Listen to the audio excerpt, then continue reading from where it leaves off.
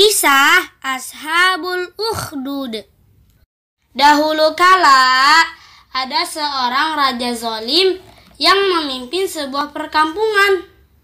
Ia memerintahkan rakyatnya untuk menyembah dirinya dan menjadikannya sebagai Tuhan. Sang raja ini memiliki seorang penyihir pribadi yang sudah tua. Dia berkata kepada sang raja, Aku ini sudah tua. Tolong pilihkan untukku seorang pemuda agar aku ajarkan padanya ilmu sihirku. Maka sang raja pun membawakan pemuda pilihannya untuk diajari sihir oleh sang penyihir. Akan tetapi Allah Ta'ala menginginkan kebaikan untuk si pemuda ini. Di tengah perjalanannya, Menuju sang penyihir, ia bertemu dengan seorang ahli ibadah yang taat kepada Allah. Ia duduk dan mendengarkan setiap perkataan yang keluar dari ahli ibadah ini. Dan ia pun terkesima dengan ucapannya. Suatu hari, pemuda ini tengah berjalan. Tiba-tiba ada seekor hewan besar yang menghalangi jalan manusia. Pemuda ini berkata, "Hari ini aku akan membuktikan siapa yang lebih hebat, apakah si penyihir atau sang ahli ibadah." Maka ia mengambil sebuah batu sambil berkata, "Ya Allah, kiranya ajaran sang ahli ibadah lebih engkau cintai daripada ajaran si penyihir. Bunuhlah hewan ini agar orang-orang bisa berjalan kembali. Kemudian ia melemparkan batu ke arah hewan tersebut.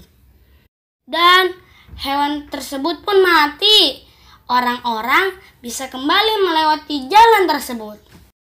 Setelah kejadian itu, sang pemuda menemui ahli ibadah dan menceritakan kisah tersebut.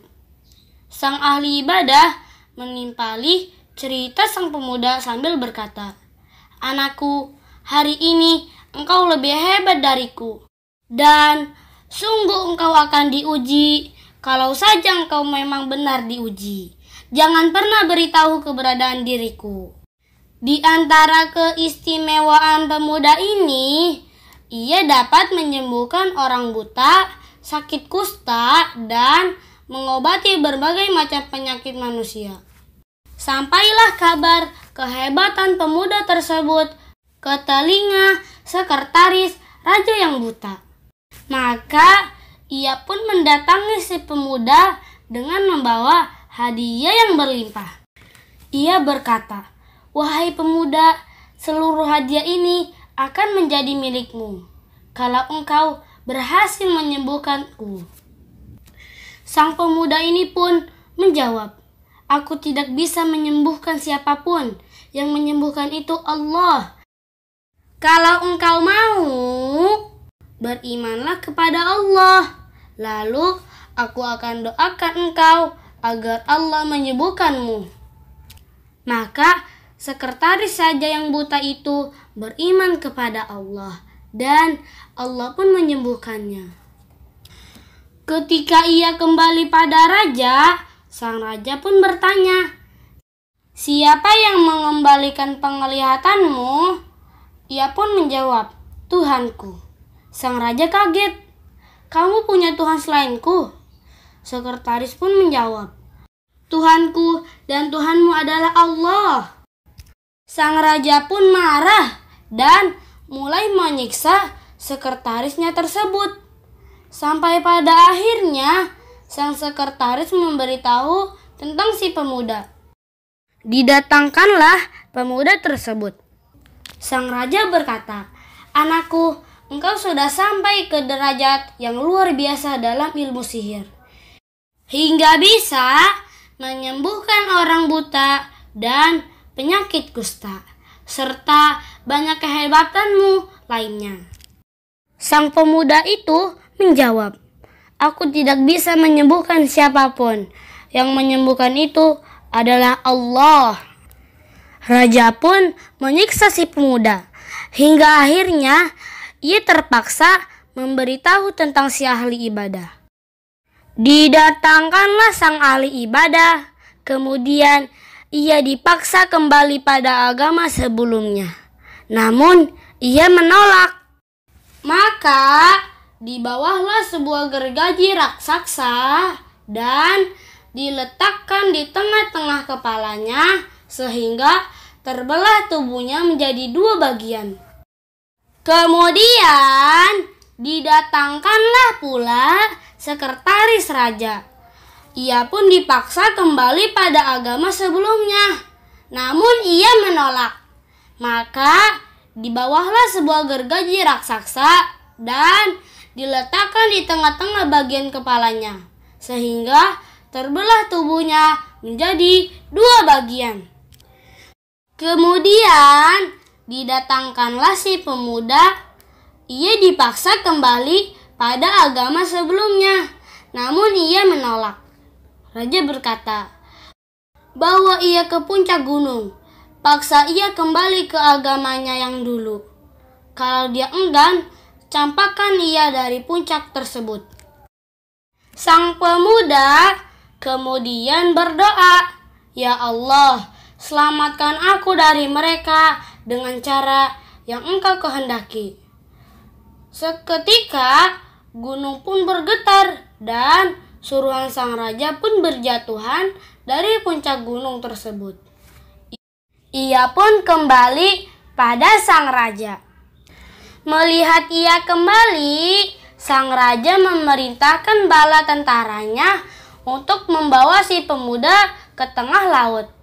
Sekiranya si pemuda menolak kembali pada agamanya, maka tenggelamkan ia ke dalam lautan.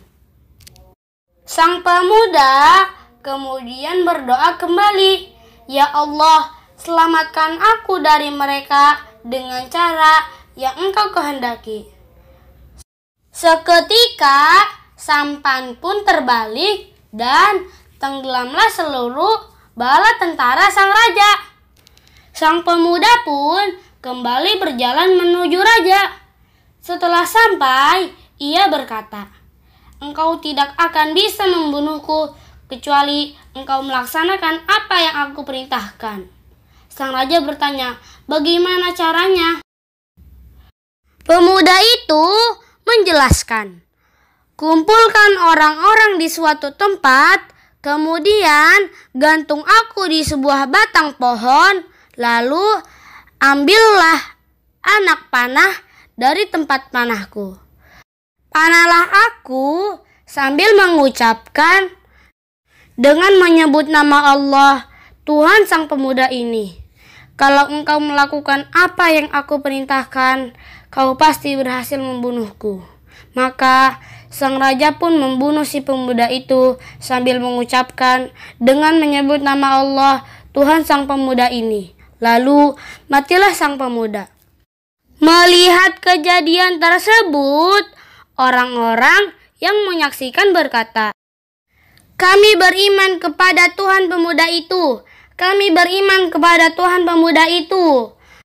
Melihat hal tersebut, dikatakanlah kepada si raja, yang engkau khawatirkan telah terjadi.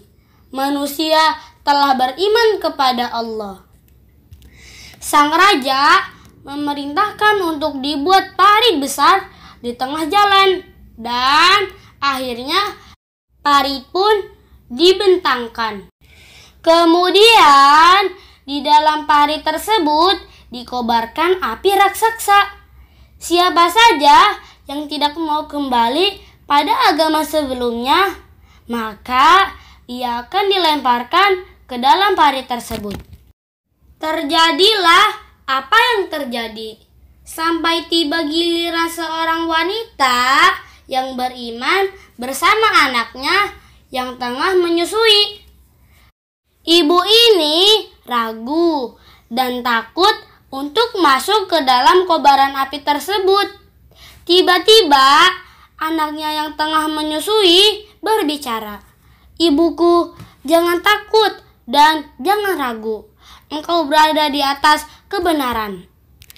Mereka itu adalah Ashabul Ukhdud yang Allah ceritakan kisahnya di dalam surat Al-Buruj. Allah Subhanahu wa taala berfirman قتل أصحاب الأخدود النار ذات الوقود إذ هم عليها قعود وهم على ما يفعلون بالمؤمنين شهود وما نقموا منهم إلا أن يؤمنوا بالله العزيز الحميد الذي له ملك السماوات والارض والله على كل شيء شهيد Binasalah orang-orang yang membuat parit, yaitu para pembesar Najran di Yaman, yang berapi, yang mempunyai kayu bakar.